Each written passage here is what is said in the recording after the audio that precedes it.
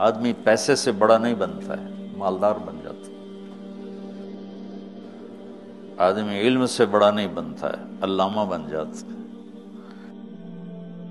बड़ा बनता है सिफात के साथ। ईमानी सिफात उसको बड़ा बनाती हैं, वो चाहे फिर इलम वाला हो या बाज़ार वाला हो या खेत वाला हो